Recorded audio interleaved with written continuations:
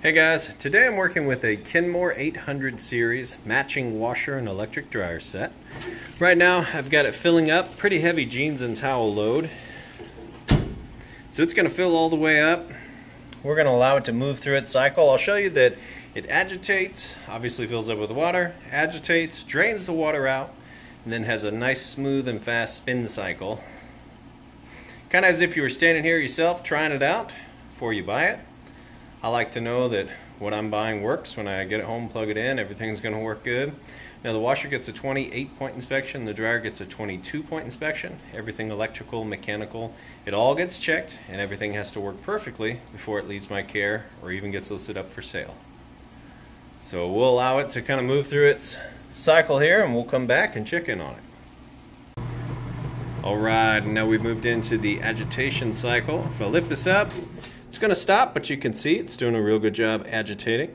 And so how this works, essentially, this uh, agitator can move freely in one direction, then not back the other direction.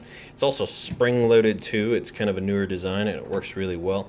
But essentially, you can move it clockwise freely, spins freely, and then it locks back the other position. And what that allows it to do is it agitates and sucks those clothes in along these propellers and the propeller, propellers on the bottom plate as well. And that's what actually gets your clothes clean is that agitation process. Now, if you can reach in your washer and spin this freely in both directions, then this is not working. It's actually broken. So something good to check. I always point that out. Sometimes your clothes aren't getting clean and people have no idea.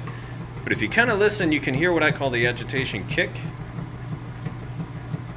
And if you can hear that, it's pretty quiet but you want to hear that on a top load washing machine. If you don't, your clothes aren't getting clean. So good tip. We'll come back for the draining and the final spin. All right, we're moving into the final spin. You can hear it draining all that water out nice and fast. For the sake of time, we'll go ahead and pause it and let it get up to full speed on the spin cycle, and we'll come back. Alright, and we are up to full speed on that spin cycle. As you can see, it's nice, smooth operation. It's getting up, moving pretty fast. I'm going to lift this lid up here. Now it's going to stop it because of that lid switch, the safety switch. But you'll be able to see it's spinning nice and fast. Shuts down like it's supposed to.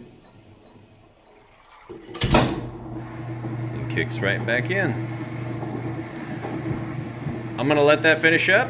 We'll move the clothes over to the dryer and show you that the dryer works and heats like it's supposed to. Alright, now I've got those clothes moved over to the dryer. See, tons of options on this guy here. And both of these are king size capacity, if I didn't mention it. So the largest capacity you can get in this series.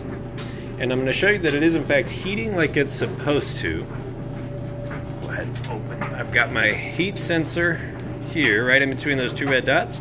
It's going to take its surface temperature measurement. So we'll open this up.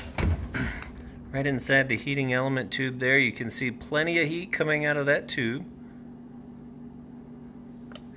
And then the inside of your dryer is going to get anywhere from about 95 up to 195, and that depends on what you have your heat setting at, and then also what you set your main timer on, because you've got tons of auto options up here as well. So for now, we'll just go time dry, high heat, and go. And as you saw there, it's tumbling nice and fast, and everything's smooth and sounds great.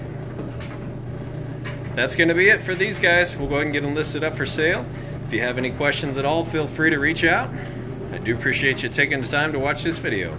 Thanks and have a great day.